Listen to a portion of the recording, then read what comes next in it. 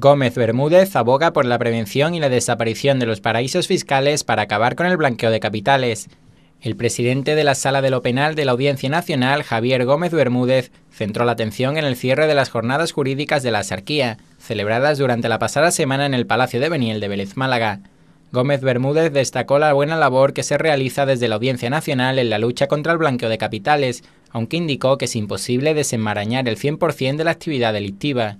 Por ello apostó por potenciar los mecanismos de prevención y por la desaparición de los paraísos fiscales. Los blanqueadores siempre están inventando nuevas formas de, cometer el delito y por lo tanto es difícil de perseguir. La mejor forma es la prevención, pero la prevención exige imponer continuamente obligaciones a los ciudadanos, a las entidades financieras, a los abogados, a los procuradores, a los agentes de comercio, a las, eh, agentes de la propiedad inmobiliaria, es decir, al final es un cúmulo de obligaciones pero desde luego el camino va por la prevención y por la desaparición de los paraísos fiscales, que es la clave. Por su parte, el magistrado del Juzgado de Instrucción número 32 de Madrid, Santiago Torres, se refirió a la especial conmoción que se origina en la opinión pública cuando son políticos los implicados en casos de corrupción. Según Torres, esto se debe al convencimiento de que o todos respetamos las leyes o se acaba con el Estado de Derecho. Se considera un especial desvalor y una especial traición a nuestro sistema el hecho de que los políticos traicionen la confianza que se les ha dado y realicen actos de malversación de caudales públicos o que realicen actos de prevaricación o que realicen actos de cohecho y que reciban regalos para dar cosas a cambio. Por último, Torres, que en 1999 encarceló al entonces alcalde de Marbella, Jesús Gil, advirtió de que por su situación y su cercanía a un paraíso fiscal como es Gibraltar, la Costa del Sol está conectada al blanqueo de capitales y las mafias. La posición de la Costa del Sol, a escasos 70 kilómetros de un paraíso fiscal de ilusión de capitales, de movimientos de capital, y que tiene unos atractivos naturales tan consustanciales como los que todos disfrutamos en toda la Costa del Sol, evidentemente conecta a que sea el lugar donde se pueden realizar aprovechamientos muy importantes de todos esos eh, movimientos de capital, de todas esas operaciones de blanqueo. El Instituto María Zambrano de Torre del Mar dedica su biblioteca al escritor Jordi Sierra y Fabra. El autor catalán ha recibido un homenaje en el centro torreño, que le ha puesto su nombre a la biblioteca. Sierra y Fabra es conocido por sus obras de literatura juvenil e infantil y ha vendido más de 9 millones de ejemplares. Para el escritor, recibir un homenaje en Andalucía es la prueba de que la cultura está por encima de los territorios. Esta es la prueba de que, la cultura no tiene fronteras y que leer realmente nos hace libres, libres e independientes.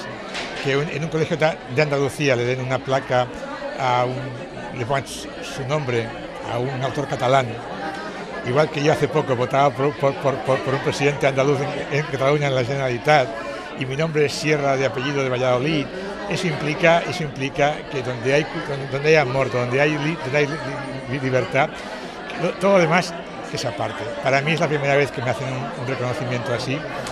Y supongo que también quiere decir que con 61 años ya, ya me he hecho mayor.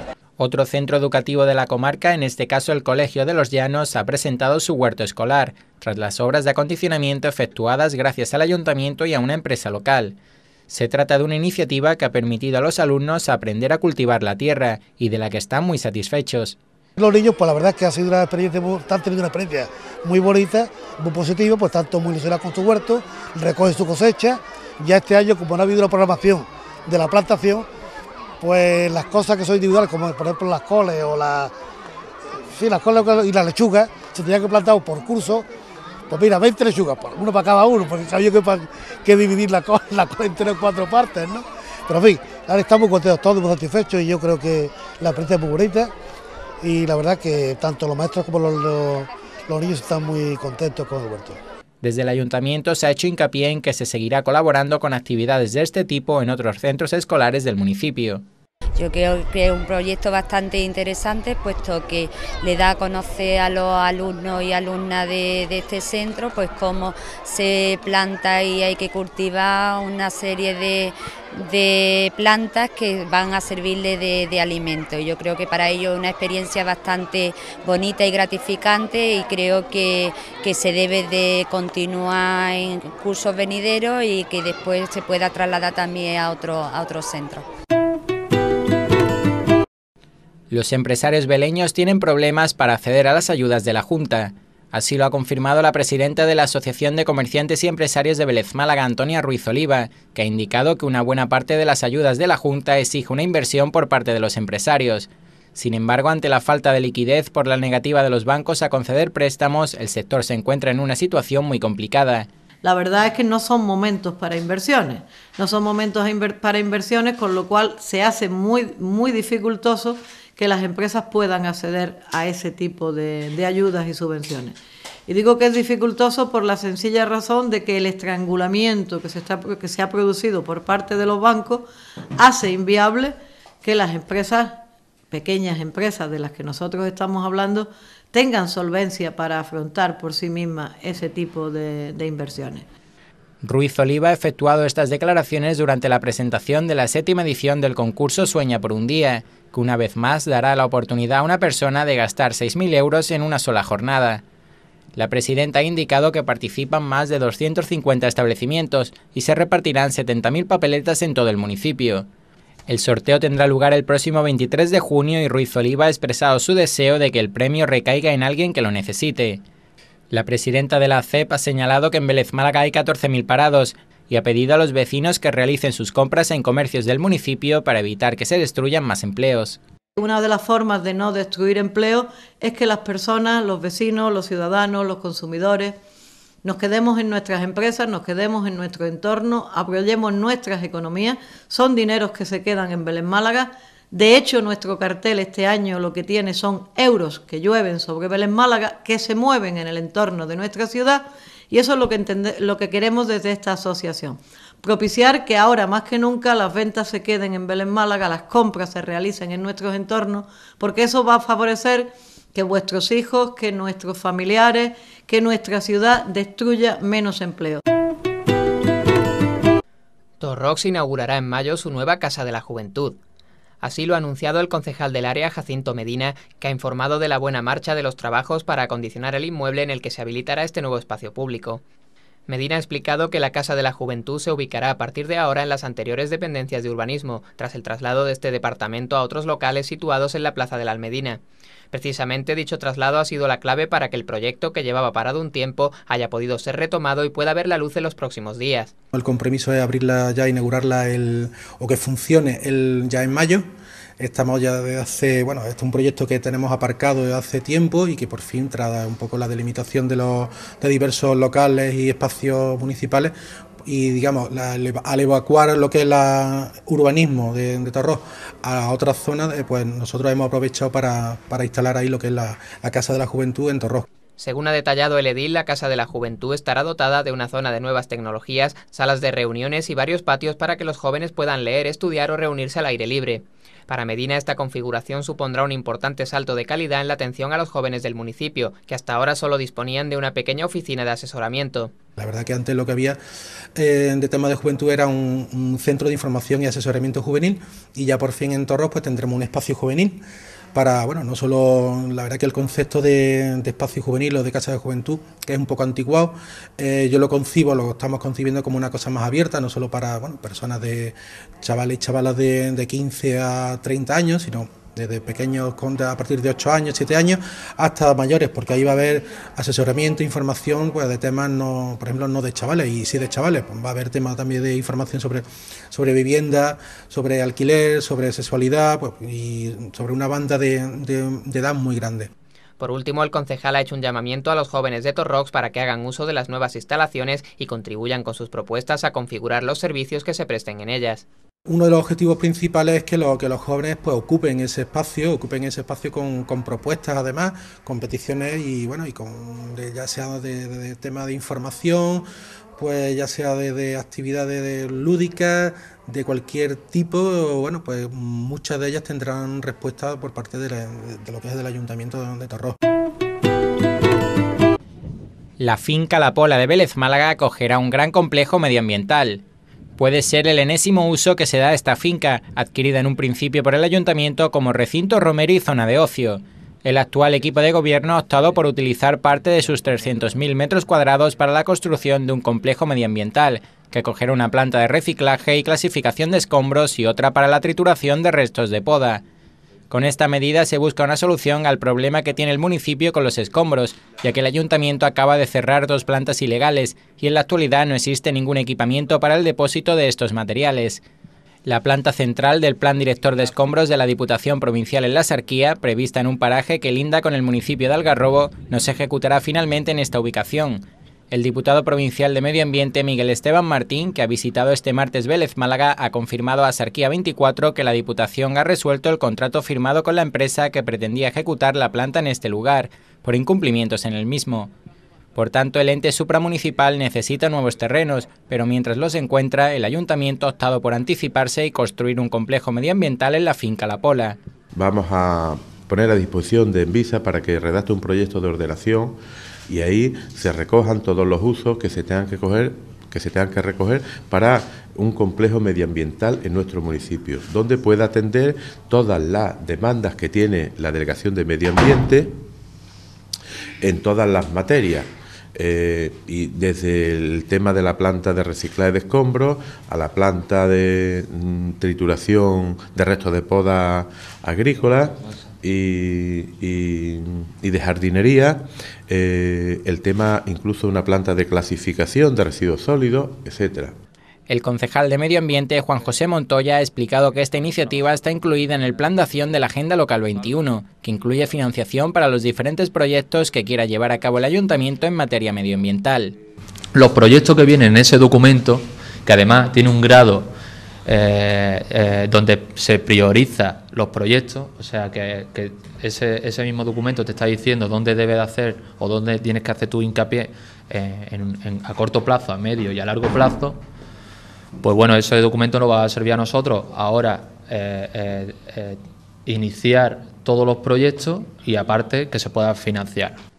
La finca La Pola acogerá también un punto limpio y se ha efectuado una propuesta a la Diputación para la implantación de un vivero en el que puedan cosecharse productos ecológicos.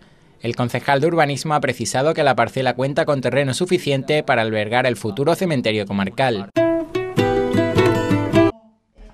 Receptura Sarquía ofrece una ruta guiada a través de los monumentos de Vélez Málaga.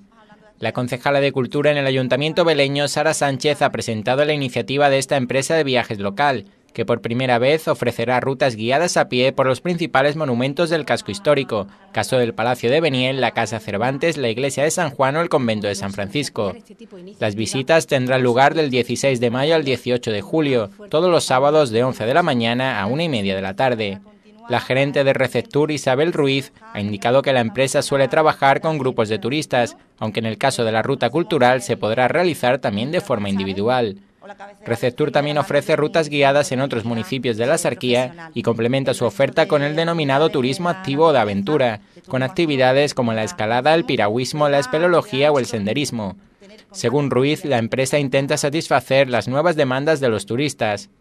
Nosotros pensamos que la demanda del mercado turístico está experimentando en los últimos años una evolución eh, que se manifiesta en eh, búsqueda de nuevas actividades satisfacciones en respuesta a expectativas de, ocio y esparcimiento, una combinación de lo que puede ser vacaciones, eh, turismo de naturaleza, turismo activo y también, por supuesto, eh, enriquecimiento cultural. El turismo de aventura no solo se ofrece a los potenciales visitantes, sino también a los jóvenes del municipio, con la finalidad de extender este tipo de ocio. Pretendemos con esto fomentar, de alguna manera, fomentar el turismo de sensibilización medioambiental y el turismo deportivo de nuestro entorno más cercano. Es decir, es una forma de vivir la aventura sin salir de casa, en nuestra propia comarca. Gracias a la colaboración de ACTA, el folleto de Receptur se expondrá en las diferentes oficinas de turismo. Su directora Elisa Páez ha destacado la importancia de que sea una empresa local la que proporcione este tipo de servicios.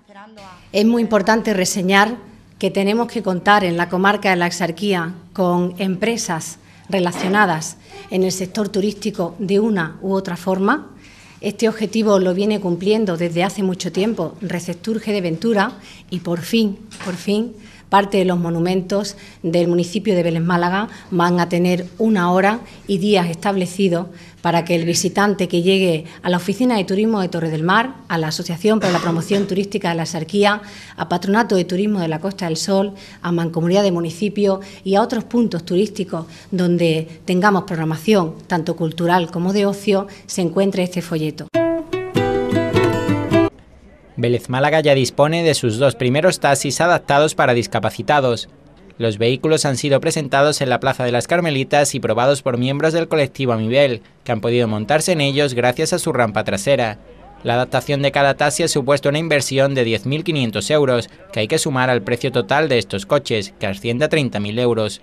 Además de la rampa trasera, los vehículos están también equipados con una rampa lateral que facilita la accesibilidad de los discapacitados.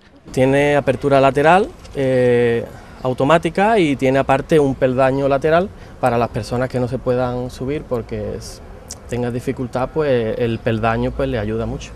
El concejal de Transportes Antonio López ha manifestado que el objetivo es que un taxi opere principalmente en Vélez Málaga y otro en Torre del Mar. Dos taxis adaptados para discapacitados para que aquellas personas que no puedan utilizar otros medios, yo creo que es fundamental para el municipio de Vélez, donde uno estaría en Vélez Málaga y otro en Torre del Mar, para poder utilizarlo. Yo creo que todos estamos contentos por la nueva licencia que le había firmado ahora para que puedan hacer el trabajo que venían demandando eh, los taxistas y estas dos personas pues son los asalariados los que han ostentado estas dos licencias. López ha indicado que el municipio cuenta actualmente con 44 licencias de taxi y ha puntualizado que se irán incrementando en función de la demanda. Tenemos 42 de taxi y los dos estos discapacitados, son 44 licencias las que hay y yo creo que si vienen demandando los vecinos, pues habrá que ir eh, sacando más licencias. Yo creo que esto es fundamental de que los vecinos son los que demandan y nosotros somos los que tenemos que ir resolviendo los problemas. Aitor López, José Alberto Cuenca y María Ángeles Salguero, ganadores del primer concurso de fotografía Pasión en Vélez. La concejala de Cultura del Ayuntamiento de Vélez Málaga, Sara Sánchez, y el presidente de la Comisión de Juventud de la Agrupación de Cofradías de Semana Santa, José Antonio Peláez, han dado a conocer las tres obras ganadoras de este concurso fotográfico, convocado con motivo de la Semana de Pasión. El concurso al que se han presentado 23 imágenes ha tenido como vencedora absoluta a la fotografía Mano de Cana, tomada por Aitor López Rodríguez y que refleja parte del brazo de nuestro Padre Jesús atado a la columna. El segundo puesto ha sido para la fotografía titulada Madrugada del Perdón, tomada por José Alberto Cuenca en el encierro de la Cofradía del Exceomo. Por último, el tercer lugar ha correspondido a María Ángeles Salguero, cuya fotografía Luces desde el palio muestra la gloria del palio de la Virgen de los Desamparados.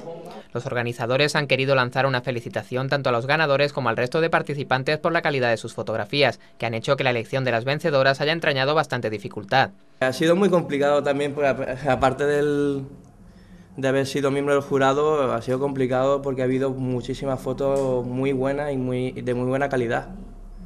Y hombre, se ve, ya se ve, solamente la primera con las manos que es que llama mucho la atención de que la tiene y parece que se está desatando solo.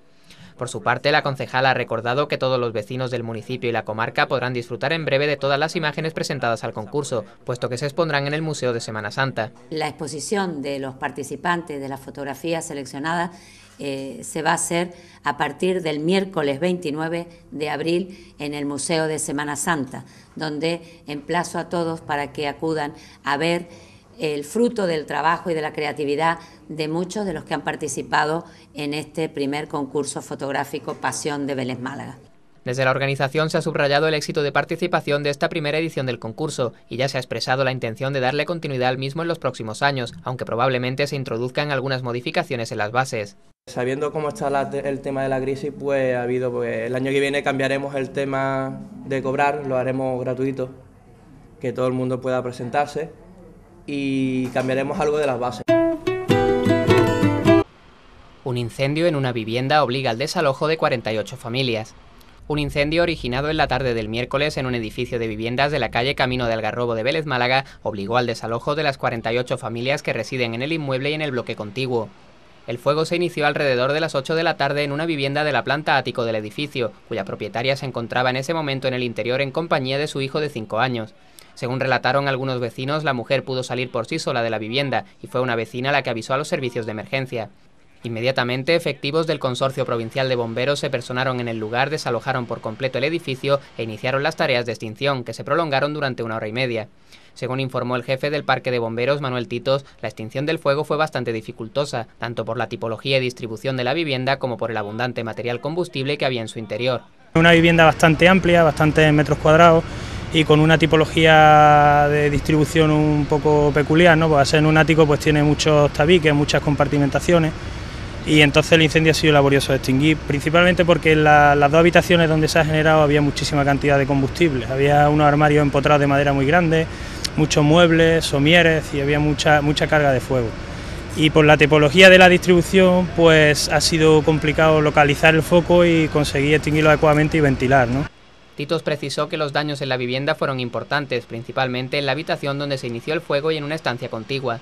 La vivienda, dos habitaciones han quedado calcinadas por completo, totalmente, y el resto de la vivienda, lógicamente, se ha visto afectada por la propagación de las calorías y el humo del mismo incendio.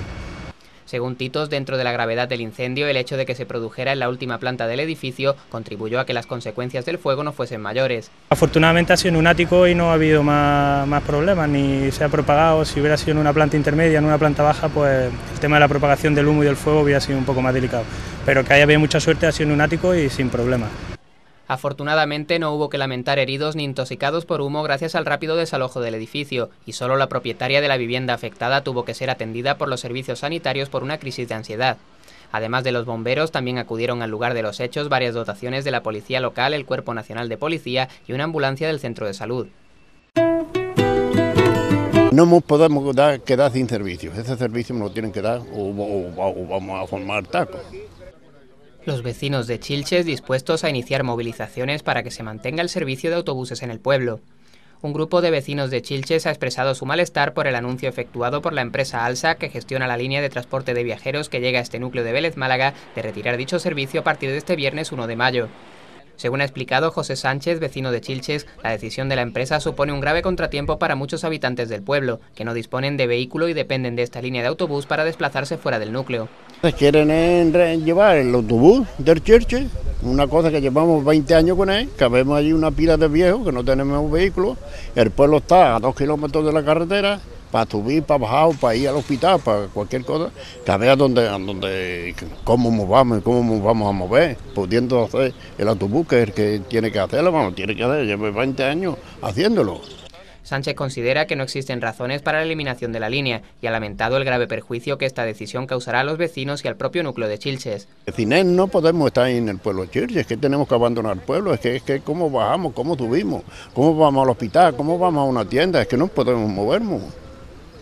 Los vecinos han recordado que no es la primera vez que se enfrentan a un problema de este tipo, pues hace unos meses lograron a través de una recogida de firmas y con la mediación del ayuntamiento que la línea de autobús se mantuviese. Ya untemos la, la firma, untemos 400 y pico firmas, la entreguemos al ayuntamiento, porque trataron hace ya un día, tiempo, que lo iban a cortar otra vez.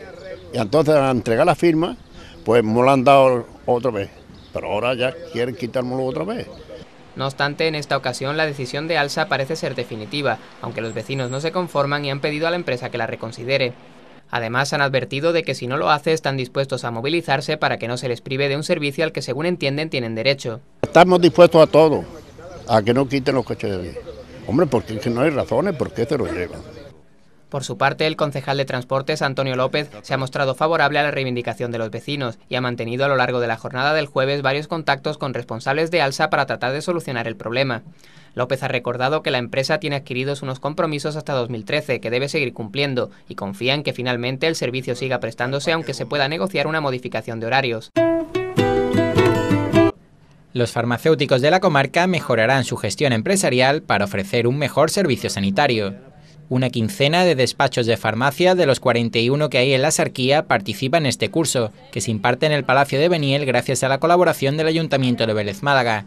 El curso está financiado por la Cámara de Comercio de Málaga y el Fondo Social Europeo, a través de la Fundación INCIDE, y está dotado de un presupuesto de 3.000 euros por participante. El presidente del Colegio de Farmacéuticos de Málaga, Javier Tudela, ha indicado que el sector no puede centrarse en exclusiva en la atención sanitaria, ya que opera desde establecimientos en los que es necesaria una buena gestión empresarial. tenga en cuenta que los farmacéuticos, la oficina de farmacia es un local comercial donde se desarrollan unas transacciones de adquisición de medicamentos por un lado y de dispensación con la correspondiente factura y contabilidad que ello lleva. Además también tiene personal colaborador con los contratos laborales correspondientes y en definitiva debe de gestionar su establecimiento aunque es sanitario, con un rigor y con un nivel de calidad que le permita pues, dar el mejor servicio. El curso tiene una duración de 10 semanas y se impartirán tutorías individualizadas a cada farmacia para acercarle técnicas relacionadas con la gestión financiera, el marketing o los recursos humanos. El programa ayuda bastante a mejorar las técnicas de gestión, a focalizar en aspectos clave para la mejora de la actividad comercial, eh, la gestión de clientes, la gestión financiera, que es crucial, no digamos en estos días, como está siendo de crucial, la gestión de los recursos humanos, etcétera, etcétera. Y en ese mismo plano, evidentemente con un nivel eh, más específicamente centrado en las características muy diferenciadas en las farmacias, pues intentamos trasladar ese conjunto de técnicas al día a día de una farmacia.